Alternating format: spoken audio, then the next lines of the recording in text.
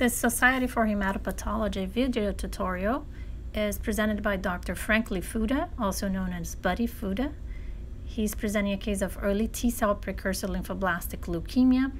He's an associate professor of pathology and flow cytometry medical director at UT Southwestern Medical Center in Dallas, Texas. Okay, so uh, the history on this case was a 30-year-old male uh, that had circulating blasts in his peripheral blood um, that was called suspicious for acute leukemia. A peripheral blood smear from low power, we see that there's uh, very few white blood cells scattered about. It's got a relatively high nuclear to cytoplasmic ratio, it's got uh, relatively smooth chromatin, and then you can see a couple small nucleoli in there. So really, this, this looks like it's some type of a blast. These made up 40% of the uh, total white cells in the peripheral blood. Is an acute leukemia of some sort. So uh, looking at the immunophenotype here, these uh, are the two physical parameters, forward light scatter, which corresponds in general to cell size, and uh, side scatter, also known as orthogonal light scatter, which uh, uh, corresponds uh, generally to uh, what we call cytoplasmic complexity. So we have two cell populations that we're going to have colored. The population of interest, or the red painted cells here, um, uh, are medium sized, um, and they do not have much cytoplasmic complexity.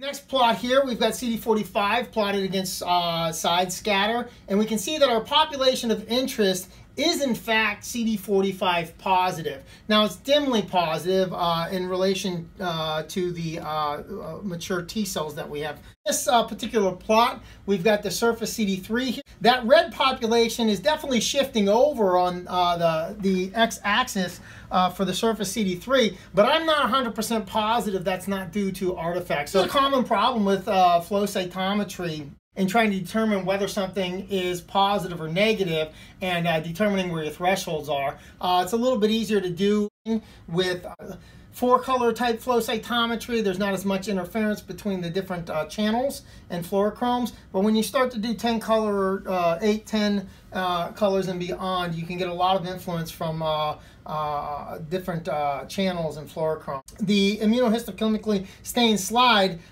you can see that there are um, plenty of cells in there that are staining strongly with CD3, and I would presume that those are our normal mature T lymphocytes. Um, so there they are there. But you can also see that there are some cells in the background that are staining or that appear to be staining dim for CD3. Um, so potentially that those could be our um, cells of interest that we're seeing in cytometry. And if we were to go ahead and look at a, uh, uh, a uh, preparation that was um, permeabilized to look at cytoplasmic CD3, we would see that um, our population of interest is in fact uh, uh, stay, staying positive by flow cytometry for cytoplasmic CD3. So that tells us we're, we're uh, dealing with uh, T lineage differentiation on these cells. Markers here, we have CD7, we have both the immunohistochemical stain slide and the flow cytometry. Our cells of interest uh, are predominantly bright positive for CD7. So you can see the bulk of the cells actually have stronger staining for CD7 than the um, mature T cells. Uh, uh, CD4, uh, our population of interest is clearly picking up CD4. It looks like it's uh, at the very least partial dim positive for CD4 uh, here's TDT. This is a, a marker of immaturity. Um, um, and we can see on our flow cytometry plot, our population of interest is in fact TDT positive. So this tells us we are dealing with an immature uh, population.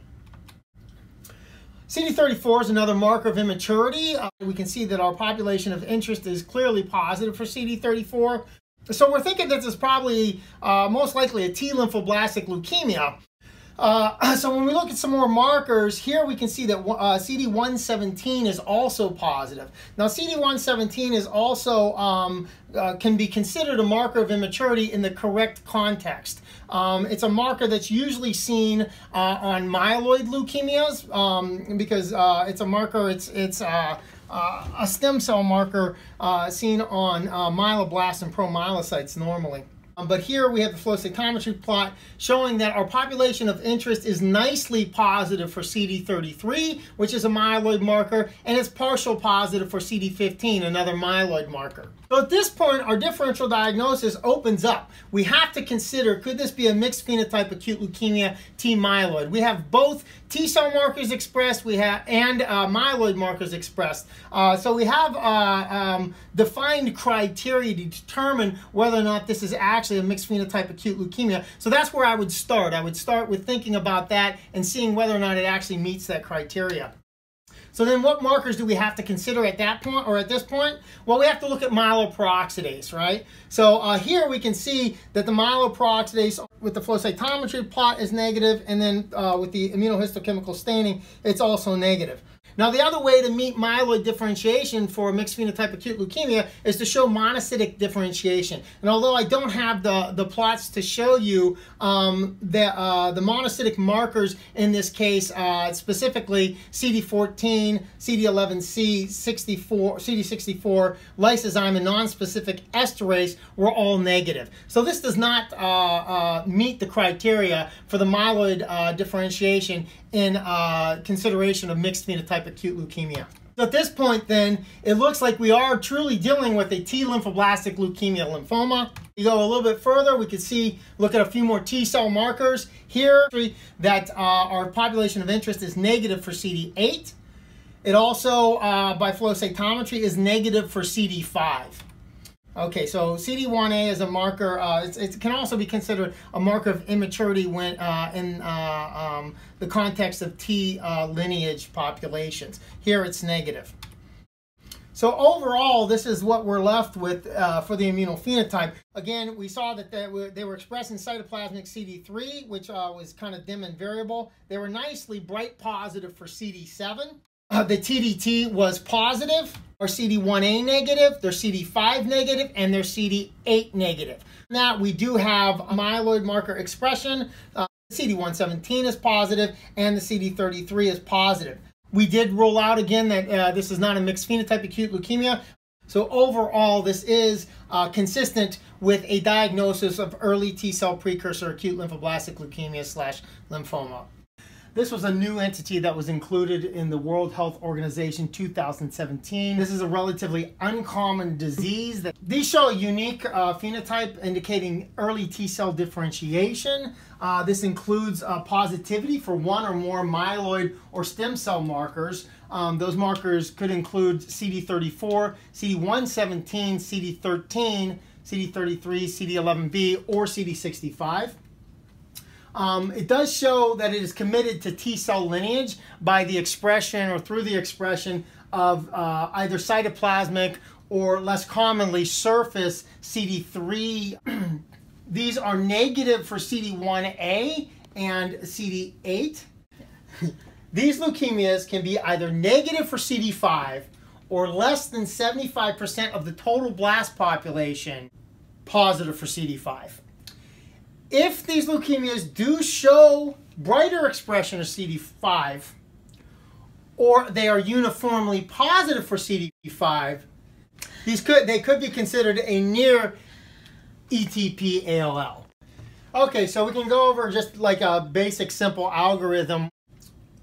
Once you determine that you're dealing with an acute leukemia uh, that is positive for both myeloid lineage markers and T lineage markers, um, you should consider uh, a mixed phenotype acute leukemia T slash myeloid.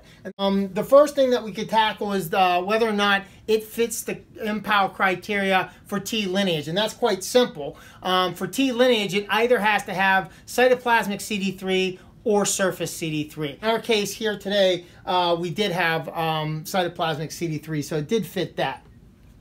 Uh, the next criteria that we would consider is the myeloid criteria. Um, what is required is that the leukemia show expression of myeloperoxidase or evidence of monocytic differentiation. In our case, we did not meet that criteria. At this point, you would start to consider, um, could this be a T lymphoblastic leukemia? Uh, anytime that we have a T lymphoblastic leukemia that expresses CD34, um, or any myeloid marker, uh, that should clue us off that maybe we're dealing with an early T cell precursor acute lymphoblastic leukemia. For the ETP-ALL, you need to have CD7, which we had, and then they have to be negative for CD1A and CD8. And then, like we mentioned on the previous slide, uh, the CD5 should be uh, negative. That's exactly what we saw in this case. So this uh, this nicely fits then into the category of early T cell precursor uh, lymphoblastic leukemia.